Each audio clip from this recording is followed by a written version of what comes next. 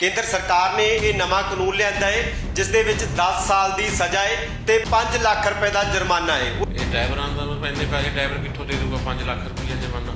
5000 ਦਾ driver ਦੀ ਤਨਖਾਹ ਹੁੰਦੀ ਸਾਰੀ। ਅੱਜ ਕਿੰਨੀਆਂ ਤੁਹਾਡੀਆਂ ਗੱਡੀਆਂ ਜਿਹੜੀਆਂ ਟਰੱਕ ਯੂਨੀਅਨ ਚੋਰੇ ਖੜੀਆਂ ਨੇ ਜਿਹੜੀ ਅੱਜ ਇੱਕ ਵੀ ਗੱਡੀ ਨਿਕਲੀ? ਸਾਡੀ 1.5 200 250 ਗੱਡੀ ਹੈ ਜਿਹੜੀ।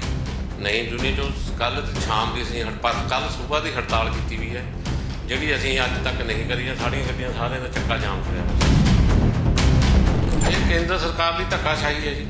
ਤੁਸੀਂ ਹਿਸਾਬ ਲਾ ਲਓ ਵੀ ਟਰਾਂਸਪੋਰਟ ਮਹਿਕਮਾ ਤਾਂ ਪਹਿਲੇ ਹੀ ਡੀਜ਼ਲ ਤੇ ਪੈਟਰੋਲ ਦੇ ਨਾਲ ਹੋਇਆ ਵਾ। ਰੇਟ ਸਾਡੇ ਹੋਈ ਜਿਹੜੇ 295 94 ਚੱਲਦੇ ਤੇ ਉਦੋਂ ਬਾਅਦ ਡੀਜ਼ਲ ਦੇਖੋ ਕਿੱਥੇ ਚਲੇ ਗਏ 90 ਰੁਪਏ ਡੀਜ਼ਲ ਹੈ। ਸਾਨੂੰ ਤਾਂ ਪਹਿਲੀ ਦਵਾਨੀ ਨਹੀਂ ਸੀ ਬਚ ਰਹੀ। ਐਕਸੀਡੈਂਟ ਤਾਂ ਕੁਦਰਤੀ ਆ, ਕੋਈ ਜਾਣ ਕੇ ਡਰਾਈਵਰ ਦਾ ਐਕਸੀਡੈਂਟ ਨਹੀਂ ਕਰਦਾ। ਇਹ ਤਾਂ ਕੁਦਰਤੀ ਹੁੰਦੇ, ਜੋ ਐਕਸੀਡੈਂਟ ਹੁੰਦੇ। ਇਹ ਕਾਨੂੰਨ ਇਹ ਅਸੀਂ ਬੇਨਤੀ ਕਰਦੇ ਕੇਂਦਰ ਸਰਕਾਰ ਨੂੰ ਵੀ ਵਾਪਸ ਲਿਆ ਜਾਵੇ। ਕੋਈ ਕਾਰ ਵਾਲੇ ਦਾ ਹੋ ਜਾਏ, ਉਹਨੂੰ ਕਿਸੇ ਨੇ ਨਹੀਂ ਪੁੱਛਣਾ ਜੀ। ਕੋਈ ਟਰੱਕ ਵਾਲਿਆਂ ਨੂੰ ਜ਼ਿਆਦਾ ਪੈਣਾ ਜੀ ਹਰ ਇੱਕ ਬੰਦੇ ਇਹ ਵੀ ਇੱਕ ਪਤਾ ਨਹੀਂ ਸਮਝ ਨਹੀਂ ਆਈ ਜੀ ਕਿੱਦਾਂ ਦਾ ਕਾਨੂੰਨ ਹੈ ਕੀ ਹੈ ਕੀ। ਜੇ ਡਰਾਈਵਰ ਹੀ ਨਹੀਂ ਟਰੱਕਾਂ ਤੇ ਰਹਿਣਗੇ ਕਾਨੂੰਨ ਕਰਕੇ ਫਿਰ ਅਸੀਂ ਟਰੱਕਾਂ ਨੂੰ ਪਾਉਣ ਦਾ ਕੀ ਫਾਇਦਾ? ਜਦ ਅਸੀਂ ਸਜ਼ਾ ਹੀ ਕੱਟ ਰਹੇ ਜੁਰਮਾਨਾ ਭਰ ਰਹੇ ਲਾਇਸੈਂਸ ਦਾ ਅਸੀਂ ਕੀ ਕਰਨਾ? ਅਸੀਂ ਕਿਉਂ ਧੱਕੇ ਖਾਣੇ ਆ? ਅਸੀਂ ਜੇ ਨਾ ਇਹਨਾਂ ਨਾਲ ਤਿੰਨ ਤਰੀਕ ਨੂੰ ਸੁਧਾਰ ਕਰਿਆ ਅਸੀਂ ਦਿੱਲੀ ਵਾਲਾ ਰੋਡ ਰੋਕਣਾ ਜੀ। ਹੁਣ ਇਸ ਕਾਨੂੰਨ ਵਿੱਚ ਡਰਾਈਵਰ ਕਿੱਥੋਂ ਬਾਹਰ ਆ ਜਾਊਗਾ? 10 ਸਾਲ ਦੀ ਸਜ਼ਾ ਤੇ 7 ਲੱਖ ਰੁਪਏ ਜੁਰਮਾਨਾ। 10 ਲੱਖ ਦਾ ਤਾਂ ਬੰਦੇ ਦਾ ਟਰੱਕ ਨਹੀਂ ਹੁੰਦਾ। ਉਹ ਕਿੱਥੋਂ ਕਰੇਗਾ? ਮਾਲਕ ਮਾਲਕ ਦਾ ਟਰੱਕ ਖੜ ਜਾਣਾ ਡਰਾਈਵਰ ਨੂੰ ਸਜ਼ਾ ਹੋ ਜਾਣੀ ਮਾਲਕ ਵੀ ਖਤਮ ਹੈ, ਡਰਾਈਵਰ ਵੀ ਖਤਮ ਹੈ। ਹਿੱਟ ਐਂਡ ਰਨ ਦੇ ਕਾਨੂੰਨ ਖਿਲਾਫ ਪੂਰੇ ਭਾਰਤ ਦੇ ਵਿੱਚ ਟਰਾਂਸਪੋਰਟਰਾਂ ਨੇ ਮੋਰਚਾ ਖੋਲ ਦਿੱਤਾ ਹੈ। ਤਿੰਨ ਦਿਨਾਂ ਦੇ ਲਈ ਹੜਤਾਲ ਜਾਰੀ ਹੈ। ਪਰ ਇਸੇ ਦੌਰਾਨ ਹੁਣ ਕਾਫੀ ਚੀਜ਼ਾਂ ਨੇ ਜਿਹੜੀਆਂ ਉਹਨਾਂ ਨੂੰ ਵੀ ਜਿਹੜਾ ਲੋਕਾਂ ਨੂੰ ਮੁਸੀਬਤਾਂ ਦਾ ਸਾਹਮਣਾ ਕਰਨਾ ਪੈ ਸਕਦਾ, ਜਿਸ ਤਰ੍ਹਾਂ ਡੀਜ਼ਲ ਤੇ ਪੈਟਰੋਲ ਪੈਟਰੋਲ ਪੰਪਾਂ ਤੇ ਖਤਮ ਹੋ ਚੁੱਕਿਆ ਹੈ ਤੇ ਖਾਣ ਪੀਣ ਦੀਆਂ ਚੀਜ਼ਾਂ ਦੇ ਵਿੱਚ ਵੀ ਜਿਹੜੀ ਕਮੀ ਦੇਖਣ ਨੂੰ ਮਿਲ ਸਕਦੀ ਹੈ। ਕਿਉਂਕਿ ਜਦੋਂ ਟਰਾਂਸਪੋਰਟਰ ਹੜਤਾਲ ਤੇ ਨੇ ਤਾਂ ਕਾਫੀ ਮੁਸੀਬਤਾਂ ਦਾ ਸਾਹਮਣਾ ਜਿਹੜਾ ਲੋਕਾਂ ਨੂੰ ਕਰਨਾ ਪੈ ਸਕਦਾ ਹੈ।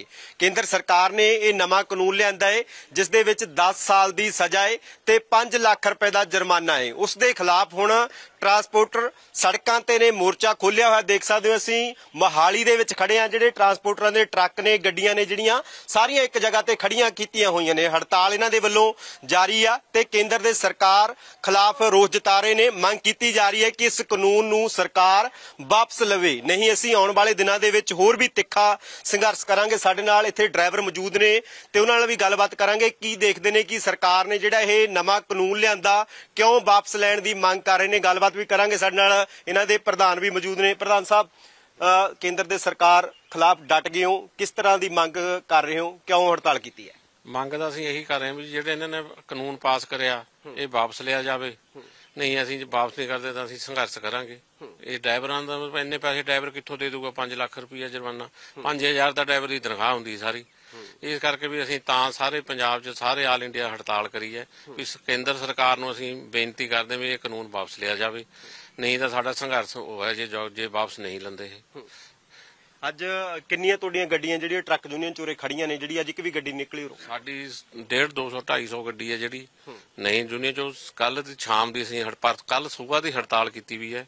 ਜਿਹੜੀ ਅਸੀਂ ਅੱਜ ਤੱਕ ਨਹੀਂ ਕਰੀ ਸਾਡੀਆਂ ਗੱਡੀਆਂ ਸਾਰਿਆਂ ਦਾ ਚੱਕਾ ਜਾਮ ਕਰਿਆ ਵਾ ਅਸੀਂ।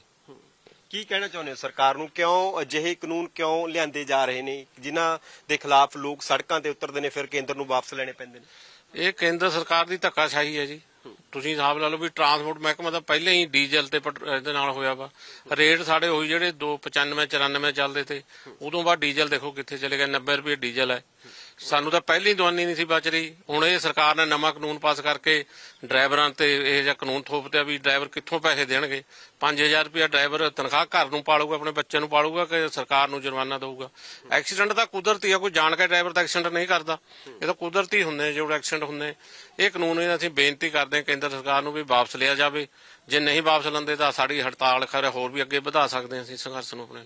ਕੀ ਲੱਗਦਾ ਕਿ ਤਿੰਨ ਦਿਨਾਂ 'ਚ ਸਰਕਾਰ ਮੰਨ ਜੇਗੀ ਤਿੰਨ ਦਿਨਾਂ ਤੁਸੀਂ ਨੇ ਮ- ਐਲਾਨ ਕੀਤਾ ਹੜਤਾਲ ਦਾ? ਮੰਨਣਾ ਚਾਹੀਦਾ ਹੈ ਜੀ।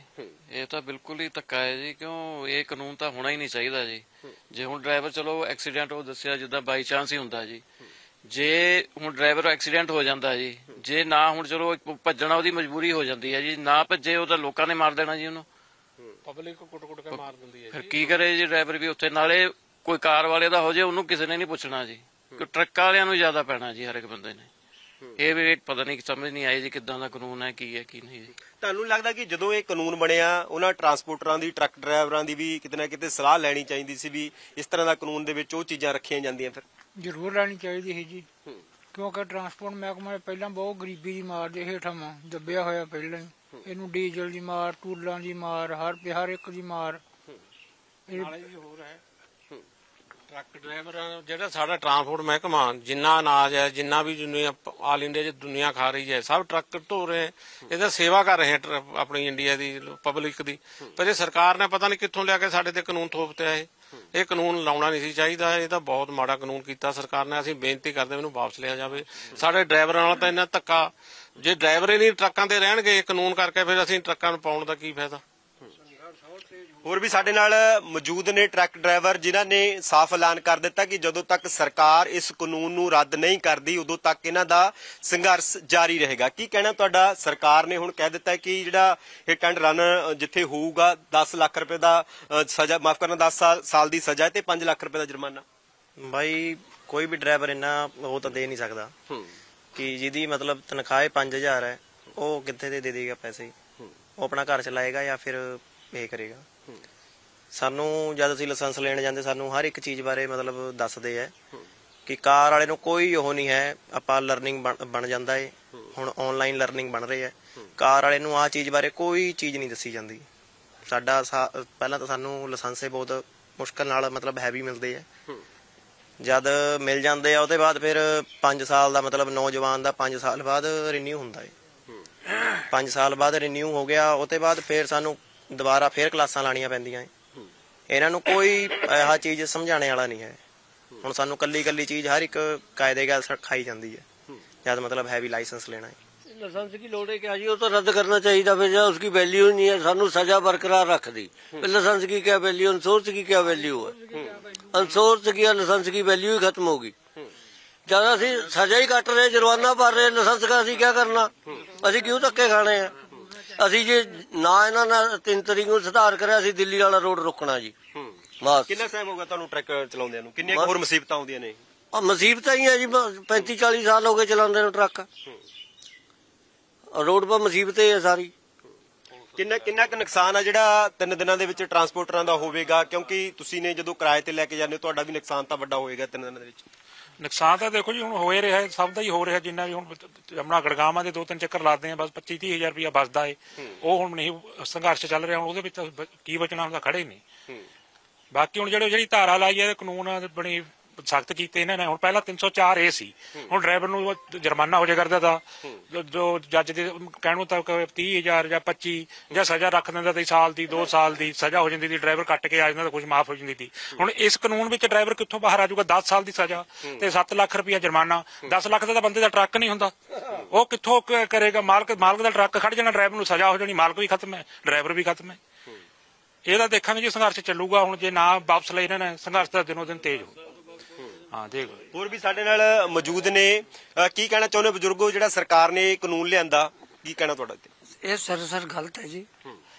ਗੱਲ ਇਹ ਹੈ ਵੀ ਇੱਕ ਡਰਾਈਵਰ ਨੂੰ 5000 ਤਨਖਾਹ ਹੈ। ਕਿਆ ਉਹ ਜੁਰਮਾਨਾ ਕਿੱਥੇ ਦੇਗਾ ਜੇ ਸਜ਼ਾ ਦਾ ਭੋਗੀ ਬਣ ਜਾਂਦਾ ਤੇ ਪਿੱਛੇ ਘਰ ਦਾ ਖਰਚਾ ਕੌਣ ਤੋਰੇਗਾ? ਉਹਦੇ ਵਾਸਤੇ ਸਭ ਤੋਂ ਬੜੀ ਮੁਸੀਬਤ ਹੈ। ਇਹ ਸਰਾਸਰ ਗਲਤ ਹੈ। ਇਹ ਹੋਣਾ ਨਹੀਂ ਚਾਹੀਦਾ। ਇਹ ਸਨ, ਟਰੱਕ ਡਰਾਈਵਰ ਵੀ ਸੀ, ਇਹਨਾਂ ਦੇ ਵਿੱਚ ਟਰਾਂਸਪੋਰਟਰ ਵੀ ਸੀ, ਤਾਂ ਉਹਨਾਂ ਦਾ ਕਹਿਣਾ ਹੈ ਕਿ ਸਰਕਾਰ ਨੂੰ ਇਹ ਕਾਨੂੰਨ ਨੂੰ ਵਾਪਸ ਲੈਣਾ ਚਾਹੀਦਾ ਕਿਉਂਕਿ 5000 ਤਾਂ ਇਹਨਾਂ ਦਾ ਕਹਿਣਾ ਹੈ ਕਿ ਡਰਾਈਵਰ ਦੀ ਤਨਖਾਹ ਹੁੰਦੀ ਹੈ, ਤਾਂ ਫਿਰ ਉਹ 5 ਲੱਖ ਰੁਪਏ ਦਾ ਜੁਰਮਾਨਾ ਕਿਵੇਂ ਅਦਾ ਕਰ ਦੇਵੇਗਾ? 10 ਸਾਲ ਦੀ ਸਜ਼ਾ ਦਾ ਇਸ ਦੇ ਵਿੱਚ ਜਿਹੜਾ ਰੱਖਿਆ ਗਿਆ ਕਾਨੂੰਨ ਜਿਹੜਾ ਬਣਾਇਆ ਸਰਕਾਰ ਨੇ, ਤਾਂ ਉਸ ਦਾ ਵਿਰੋਧ ਕਰ ਰਹੇ ਨੇ, ਟਰਾਂਸਪੋਰਟਰ ਕਹਿ ਰਹੇ ਨੇ ਕਿ ਸਰਕਾਰ ਇਸ ਕਾਨੂੰਨ ਨੂੰ ਰੱਦ ਕਰੇ। ਦੇਖ ਸਕਦੇ ਹੋ ਕਿ ਅਸੀਂ ਮਹਾਲੀ ਦੇ ਵਿੱਚ ਮੌਜੂਦ ਆ ਜਿੱਥੇ ਟਰੱਕ ਯੂਨੀਅਨ ਦੇ ਵਿੱਚ ਵੱਡੀ ਤਾਦਾਦ ਦੇ ਵਿੱਚ ਇਹਨਾਂ ਦੀਆਂ ਗੱਡੀਆਂ ਖੜੀਆਂ ਨੇ, ਅੱਜ ਹੜਤਾਲ ਤੇ ਨੇ ਇਹਨਾਂ ਨੂੰ ਵੀ ਨੁਕਸਾਨ ਦਾ ਸਾਹਮਣਾ ਕਰਨਾ ਪਵੇਗਾ ਤੇ ਦੂਜੇ ਪਾਸੇ ਲੋਕ ਵੀ ਚਿੰਤਾ ਦੇ ਵਿੱਚ ਨੇ। ਜੇਕਰ ਹੜਤਾਲ ਲੰਬੀ ਚੱਲਦੀ ਆ, ਤਾਂ ਜਿਸ ਤਰ੍ਹਾਂ ਪੈਟਰੋਲ ਪੰਪਾਂ ਤੇ ਲੋਕਾਂ ਦੀਆਂ ਲਾਈਨਾਂ ਲੱਗੀਆਂ ਨੇ, ਤਾਂ ਆਉਣ ਵਾਲੇ ਸਮਾਂ ਦੇ ਵਿੱਚ ਮੰਡੀਆਂ ਦੇ ਵਿੱਚ ਵੀ ਲਾਈਨਾਂ ਲੱਗ ਸਕਦੀਆਂ ਨੇ ਤੇ ਹੋਰ ਸਟੋਰਾਂ ਦੇ ਵਿੱਚ ਵੀ ਲਾਈਨਾਂ ਲੱਗ ਸਕਦੀਆਂ ਨੇ। ਖਾਣ ਪੀਣ ਦੀਆਂ ਚੀਜ਼ਾਂ ਦੇ ਵਿੱਚ ਵੀ ਦਿੱਕਤ ਆ ਸਕਦੀ ਆ। ਫਿਲਹਾਲ ਤਿੰਨ ਦਿਨਾਂ ਦੇ ਲਈ ਹੜਤਾਲ ਕੀਤੀ ਹੋਈ ਆ। ਤਿੰਨ ਦਿਨਾਂ ਤੋਂ ਬਾਅਦ ਭਾਰਤ ਦੀਆਂ ਟਰਾਂਸਪੋਰਟਰਾਂ ਦੀਆਂ ਜਥੇਬੰਦੀਆਂ ਕੀ ਫੈਸਲਾ ਲੈਂਦੀਆਂ ਨੇ, ਇਹ ਦੇਖਣਾ ਹੋਵੇਗਾ। ਕੈਮਰਾ ਪਰਸਨ ਕਮਲ ਦੇ ਨਾਲ ਕੁਲਦੀਪ ਸਿੰਘ ਪੋੜੇ, ਰਜਾਨਾ ਸਪੋਕਸਮੈਨ ਟੀਵੀ, ਮੋਹਾਲੀ।